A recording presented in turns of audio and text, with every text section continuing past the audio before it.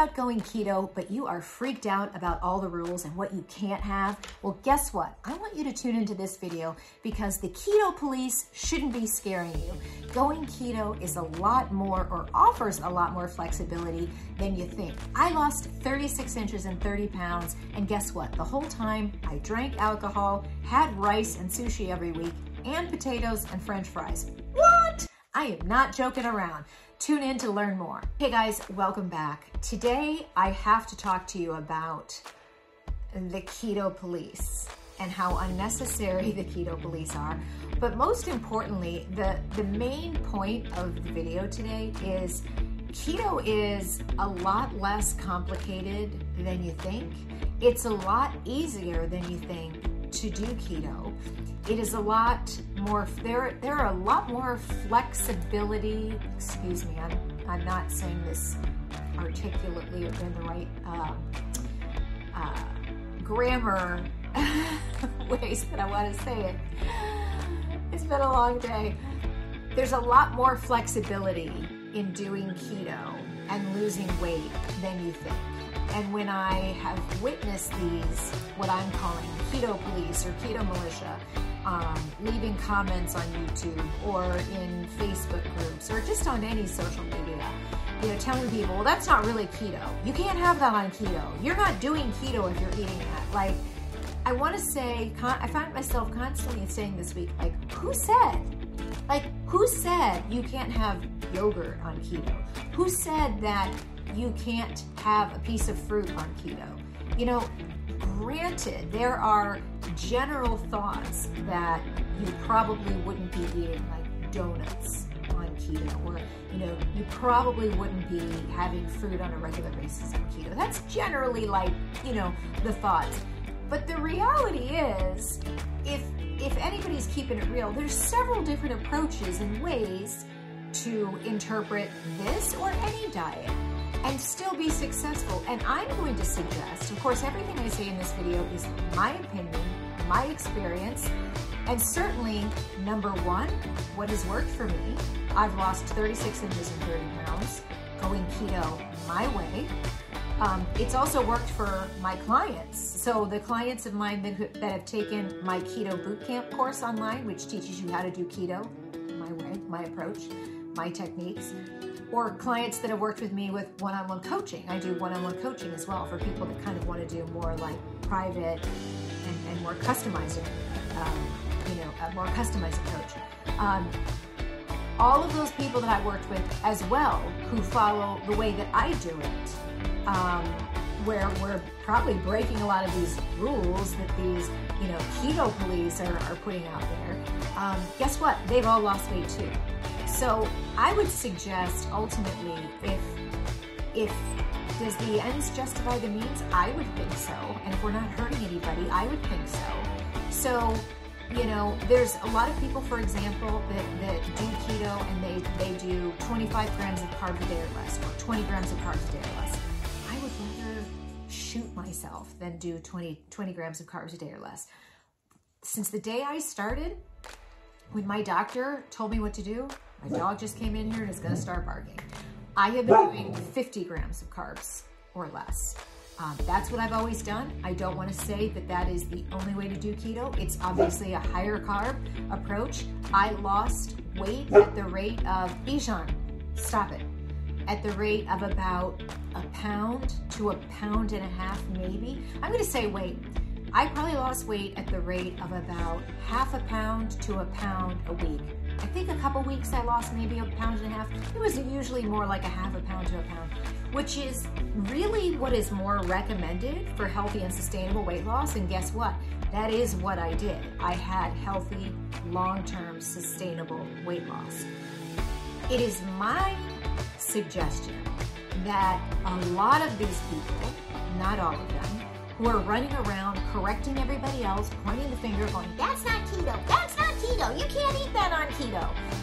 These are the people who are probably trying to do keto so strictly with 20 grams of carbs or less, but they're also the ones that are doing what I tell, what I've never done, and what I tell all my clients not to do, which is um, play the whole net carbs game. You know, and these people, I see them. I see them in the in the groups. They're like, oh, guess what? I had this, you know, cheeseburger on this keto bread with, you know, this uh, keto chips on the side and blah, blah, blah. And it only has, you know, 14 net carbs, blah, blah, blah. And I'm just looking at it going, keto bread, keto chips, keto drink, keto Kool-Aid.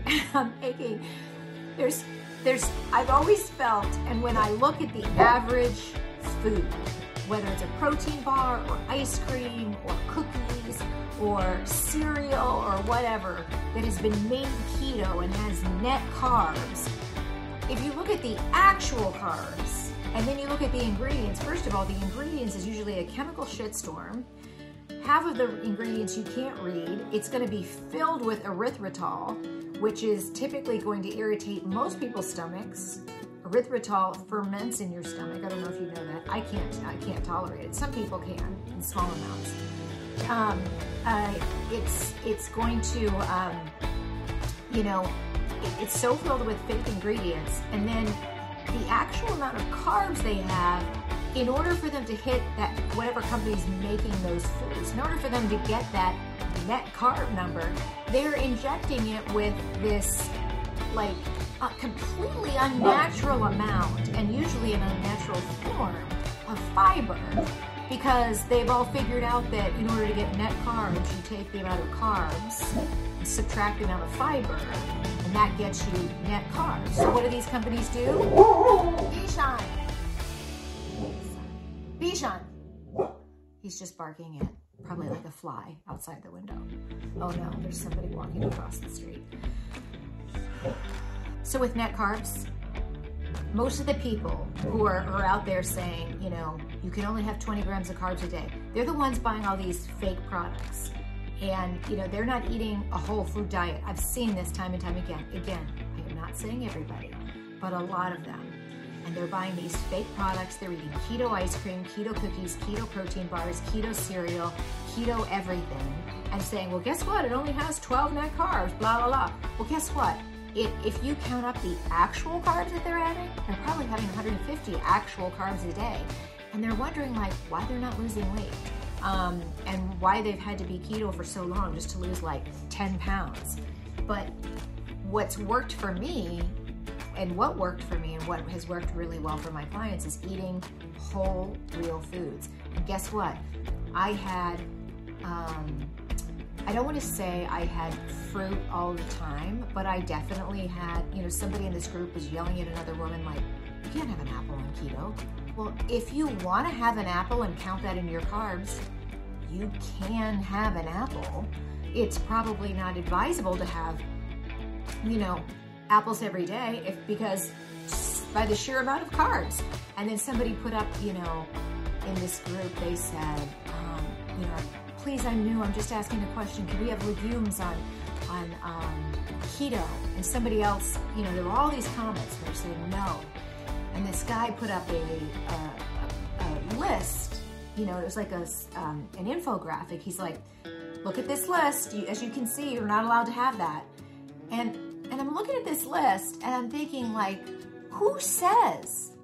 Like, who who says you're you're telling this new person who's looking at you going, oh, it says on that, that infographic that I, I'm not allowed to have it. But who made that list? Like, that's a Canva graphic. Like, how do we know, like, your little brother down the street didn't make that? Is there, like, one be-all, end-all created by God Almighty keto guide? No, there isn't.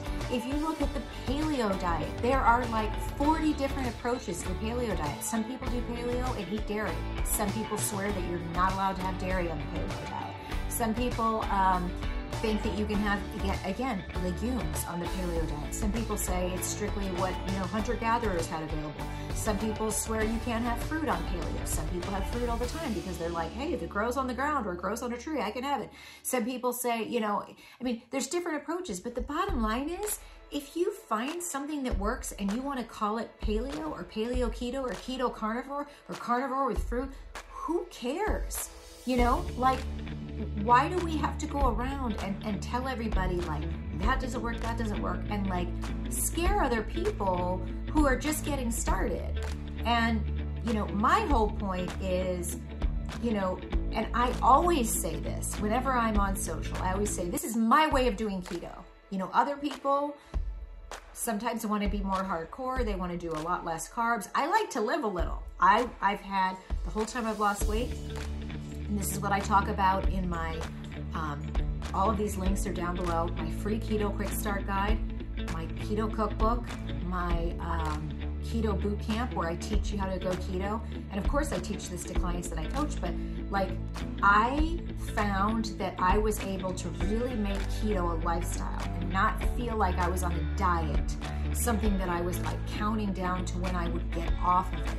If I, I was able to do that by cutting out snacking, because I, in the beginning, I was snacking all the time. I still was like focusing on my sweet tooth. What could I have that was low carb and would still be 50 grams of carbs or less that would satisfy my sweet tooth? That was my obsession when I first went keto. But then I found that like I was constantly feeding my sweet tooth and I never really, you know, I was always hungry and I was always eating. And just would get to dinner and I could not, I had no carbs left. Well, then I started, speaking the devil,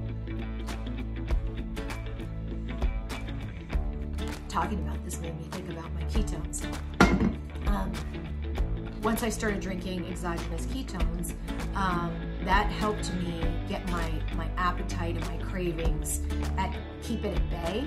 I cut out snacking. I, I proactively and very deliberately cut out snacking because I realized that having the nut butter and um, you know some of the some of the things I was having, even nuts that I was having in between my meals. You know, I, I do intermittent fasting, so I have my first meal as lunch, and then I would have my second meal as dinner. But I would have snacks in between, and I was adding up a lot of carbs, so I cut that out. But what I found is when I cut out the snacking, I, I had um, exogenous ketones in between my keto coffee for breakfast, and then I had lunch, so I had two meals a day. And I still do this, lunch and dinner, pretty much no snacking in between. I don't want to say I never have a snack, sometimes I do. There's one food that I have. Occasionally I let myself have this treat. It's BHU um, keto cookie dough.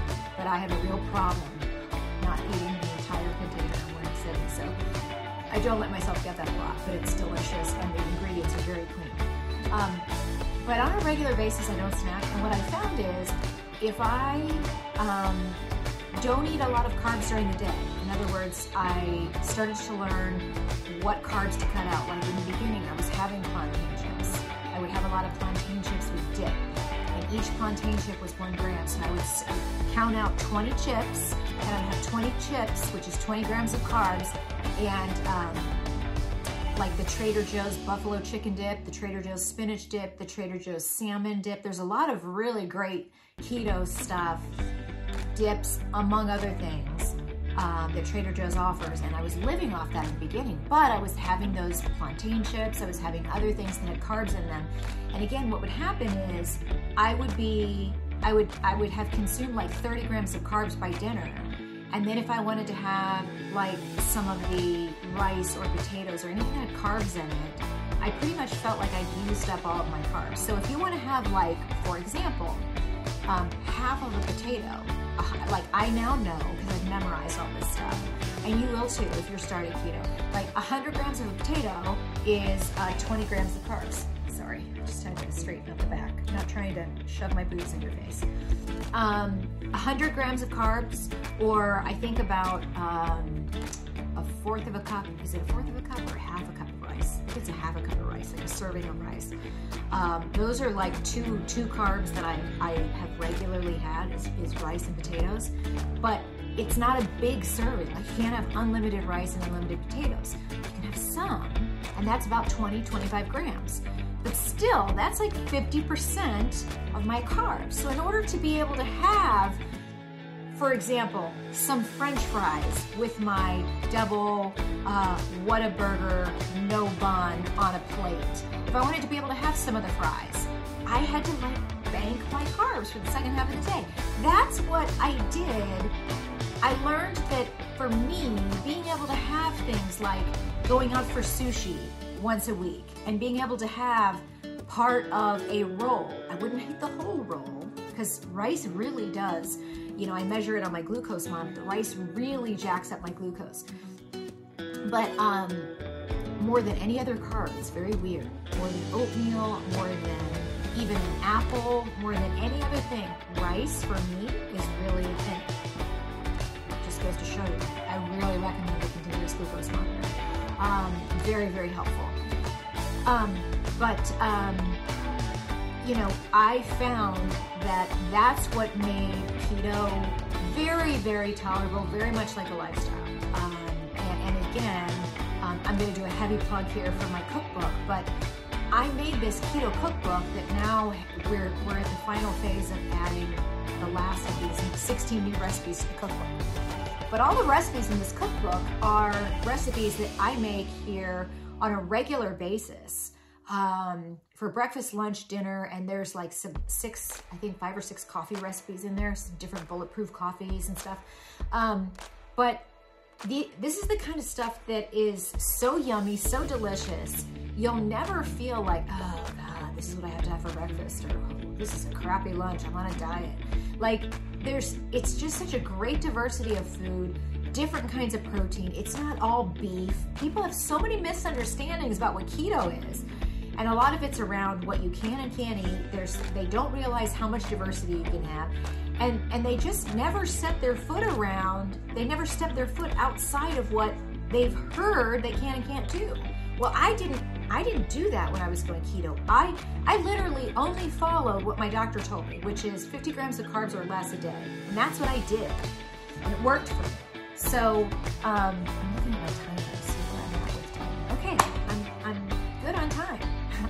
said 38 minutes, and I was like, shit! I'm really trying to keep my videos to the point for you guys. But anyway, you know, I saw all of these keto comments by keto police people, and it really started to piss me off because I know if other people see those when they're new to keto or they're starting it, they're going to get discouraged. And I wanted to share with all of you again, my experience, you don't need to be that strict. Sure, if you want to, I'm certain there are legions of people who have been that strict, who have done 20 grams of carbs or less, who have followed all of these other rules about keto and done really well. And I'm not saying that that's wrong. What I am saying is that that's not the only way to do keto, just like there's not one way to do paleo. And the best thing that we should all accept at this time is that there's more than one way to lose weight, and even more than one way to lose weight with one diet approach. And I certainly have found that out myself. So I'm gonna start calling my approach my my keto evolution, I think, as my assistant and I were talking about this. She goes, you should call it, you know, your your own approach, because it is, it's totally different than than what other people are doing with keto. I'm starting to realize that more than ever.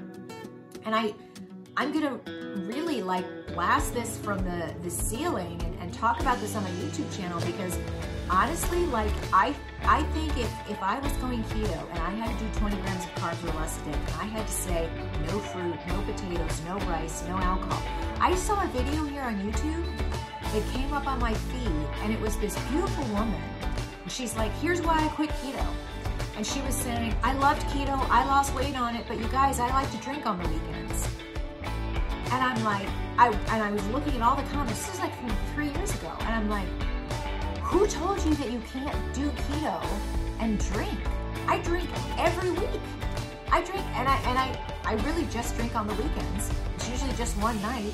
But when I was losing my weight, I drank every weekend, typically again, one to two nights.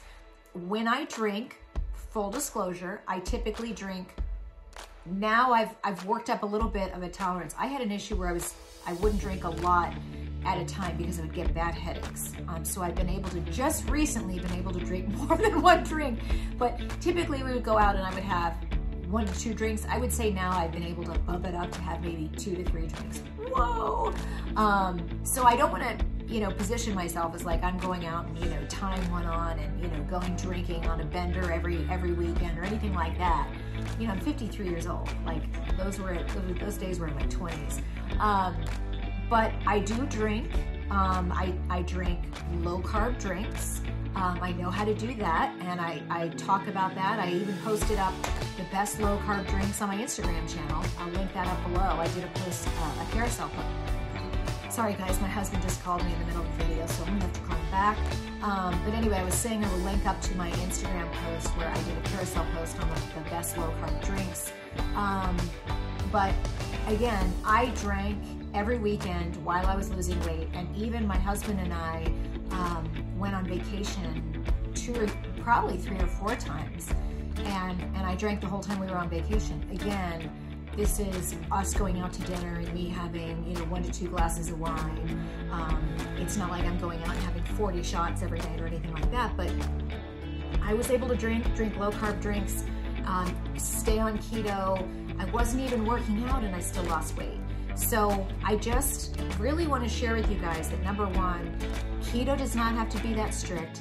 There are more than one ways to do keto. Um, we all of us don't need the keto police. If you're the keto police, you need to relax and kind of stay in your own lane. And nobody's, if, if people aren't asking for your advice, your unsolicited advice, if you're being critical and, and, and harsh, like get over it and think about what your mother hopefully told you. Like if you don't have anything nice to say, like especially to people who are just getting started. Um, but you know, again, I just want to share with everybody to encourage you. Like I was on the weight loss struggle bus as a fitness fanatic and the owner of a fitness company for years. I was working with trainers, dietitians, um, working with a bioidentical hormonal replacement treatment functional doctor. Um, I was on bioidenticals. I, I just could not lose weight. I was 30 pounds overweight. I didn't even know how what my weight was because I wouldn't weigh myself. I was terrified of what I weighed. I just I knew I was overweight. I knew I wanted to lose pounds. I just didn't want to put a number to it because I, but that's how women are. Every woman watching this video knows what that feeling is like when you don't want to weigh yourself and you don't want to say how much weight you have to lose because women only want to say, oh, I think I need to lose five pounds. Nobody wants to say, oh, I have to lose 30 pounds. Nobody, no one, no woman wants to say it. But when I, now that I'm past losing 30 pounds, I can say, hey, guess what? I was 30 pounds over my, my ideal weight. Um, I was stuck working out six to seven days a week, eating in a caloric deficit for the better part of 10 years, and I just stayed the same weight. I constantly stayed the same weight. I would lose a little bit. I would have a couple of areas, you know, over the past four or five years where I'd kind of get lean, but then the weight would come back on. And it was all had to do with, you know, insulin resistance for the most part and inflammation I got with the right doctor, the right functional medicine doctor. She tweaked my hormones a bit. She put me on keto, and my whole life changed. I lost 36 inches and 30 pounds, and I went keto. I got to my goal weight of 138 and 5'5. Um, and then I surpassed that. I actually got down to 134, and then I started to kind of get a little bit worried that I was, which I never thought I would say these words in my whole life. I thought I was, I lose too much more because I really didn't want to lose any more weight. And so the actual, the end of last year, and I'll link to that video down below, we started adding carbs back in. It was actually not a positive experience for me, um, both from a stomach upset perspective, but also from a weight gain perspective. I knew I would be gaining weight. Um, everybody knows that if you go off keto, you will gain some of that water weight back immediately, right? Seven to 10 pounds is very typical. Um, that is what happened to me, but then I gained some additional weight back as I continued to have carbs. But it was more distressing to me that I just had horrible stomach upset. And so as such, both because I wanted to lose the weight and get, you know, that, that weight that I had gained with the carbs back off, um, more so, I was I got myself comfortable with the first amount of weight gain, and I kind of liked like I kind of liked having my curves back. Like I had lost too much weight in my boobs and too much weight in my ass for my liking and for my husband's liking. So I was kind of happy with like initially the first amount of weight that I gained back. Like I was okay with that. I was probably thinking, okay, this is cool. Maybe I want to lose like three or four pounds. That's where I was at when I first gained that, and I did. I gained right about nine, nine to 10 pounds. Um, but then I probably gained, and, and I, will be honest with you guys, I have not weighed myself. I've been measuring myself right now. I've been back on keto four weeks. This coming up week will be week five. I've got to get myself back on the scale. Um, but if I'm being truthful with you all, um, I just got scared. I didn't want to get back on the scale. Um, women, sometimes when you stop weighing yourself, you just develop a fear. And that's, I will never again go through a phase, talked about this in one of my last videos, where I'm not measuring myself, I'm not weighing myself. Other people think that's diet culture and that's, you know, bad behavior. I don't think it is that at all. I think when I don't weigh myself, that's when I get wonky. It, for me, it keeps me sane to to see where I'm at and that combined with things like my continuous glucose monitor. This is just as much about how I look as keeping my body healthy and in a really good optimized state for longevity going forward.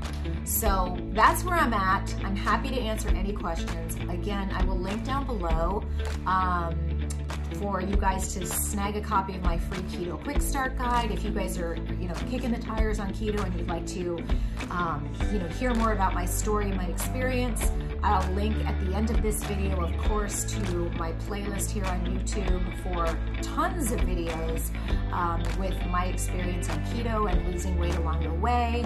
Um, I'll link to my keto cookbook. It's just 27 bucks. You can grab that as a digital version. Anytime we add new recipes, you get them for free. And then of course, I'm gonna link down below as well to my boot camp, which is my online course. It's just 99 bucks. When you get the boot camp, you will get, if you mention this video and you email us at kelly you'll get the, the cookbook for free. So you get the boot camp and the cookbook. You learn how to do keto. It's a self-paced video tutorial course taught by me, of course. Uh, if you're interested in one-on-one coaching, I do have limited spots available, and you can just email me at kelly at kellyolexa.com to inquire about availability and scheduling. So thank you guys so much for tuning in today. I'm gonna go call my husband back. It is Friday, and we are also getting a new puppy tomorrow, bringing her home, so you guys will get to see Sydney, uh, Bijan's new baby sister next week. And that's it. Peace out. Have a great holiday weekend. It is not a holiday weekend. I don't know why I just said holiday, but I'm just gonna leave it in there feels like holiday. Thanks guys for tuning in. I'll see you next time on the Kelly Day Show. Hey guys, I hope this video was super helpful for you. Like I said, I am linking up to a playlist here with tons of keto videos for you. If you're new, feel free to check them out. And as always, if you have any questions, leave them for me in the comments below.